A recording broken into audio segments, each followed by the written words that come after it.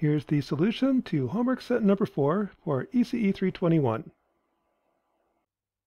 Now before we start, I'm going to show you what we wind up at the end of this homework. I want to build a subwoofer. So I'm going to take some audio signal, run it through a low-pass filter, drive a speaker, and here's what that sounds like.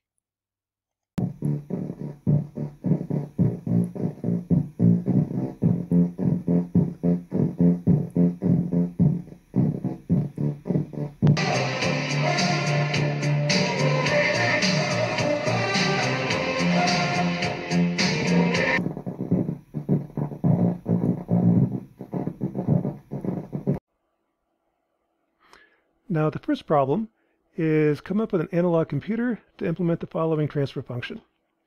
The trick here is take the system, cross multiply, gives you s cubed y, solve for the highest derivative,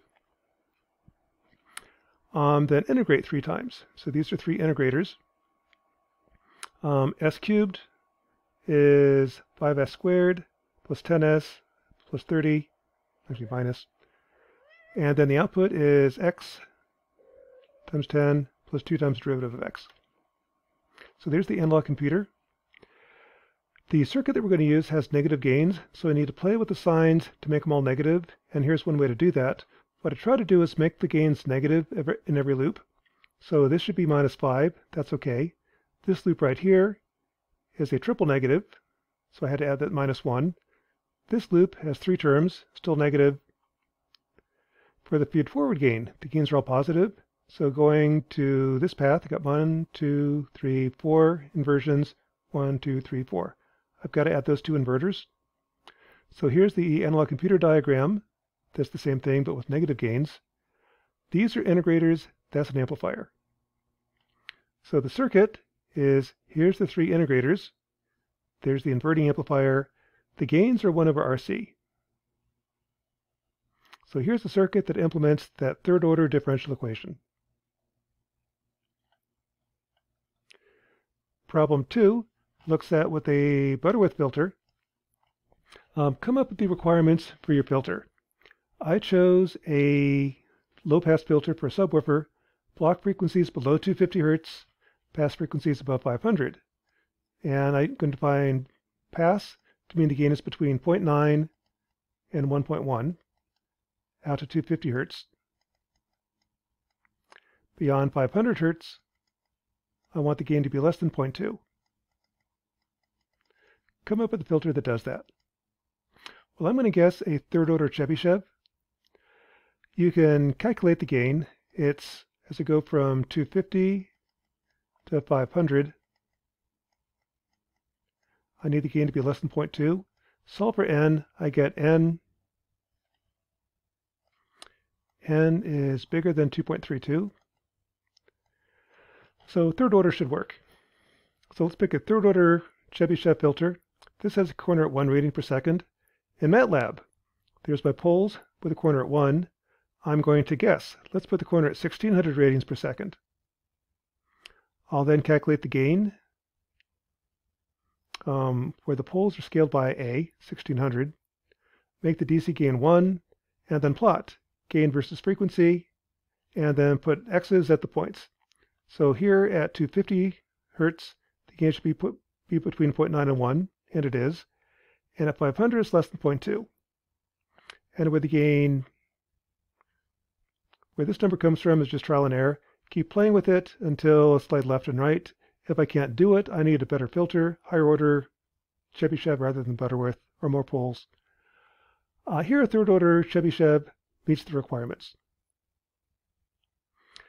So to build it, I want to have this filter. Um, da, da, da, the first stage is an RC filter, corner at 1275. So 1 over RC is 1275. The second stage corners at 1815. So there's C, there's R, solve. This is 1815. To get the angle, 3 minus K is 2 times the cosine of the angle, K is 2.3, 130K. So there's my Chebyshev filter. I can check that in CircuitLab, plot the gain versus frequency, and it's fairly flat, goes out to 250 and drops off. The two points I care about is at 250, the gain is bigger than 0.9 at 500, gain is less than 0.2 times the DC gain. That should meet the requirements. Now let's build it. So here's a circuit that implements it. This just gives me the plus 9 volts, 0 volts. Here's a voltage divider, gives you 4.5 volts. That's my rail. My signal, my AC signal, is going to be writing between 9 volts and 0 volts with a 4.5 volt offset. So there's my 4.5 volt offset that acts as circuit ground. Here's my third order Chebyshev filter that then drives my 386 uh, speaker driver. In addition, I used a computer that has earth ground rather than my laptop. To separate earth ground, I added an RC low pass filter. So this goes 4.5 volts. This is 0.1 meg. This is, correction, 0.1 microfarad, 0.1 meg. That is a high pass filter, cornered at 100 radians per second, or 16 hertz. Um, that'll block the DC level, change it back to 4.5 volt offset. That then drives my filter. That then drives the speaker. Uh, using onlinetonegenerator.com, you know, what else would it be called? I can input a sine wave and measure the filter output at all these different frequencies, plot it relative to the DC gain, and the blue line is what I should have, the red line is what I do have. So apparently something's wrong. Didn't notice this until after I plotted the data. What's wrong is this guy right here. That is this capacitor. That's supposed to go to the feedback. If I tie it to ground, those are three real poles. Tied to the feedback, I get the complex poles. That shows up in my data. This guy right here, instead of going to ground, it should go to my output. By tying it to ground, I now have real poles, and I get this response. So this is with real poles. This is with the complex poles. And I should have fixed that, but I didn't, so my filter's not quite right. That's my data. Uh, to see what it sounds like, we'll do a quick demo.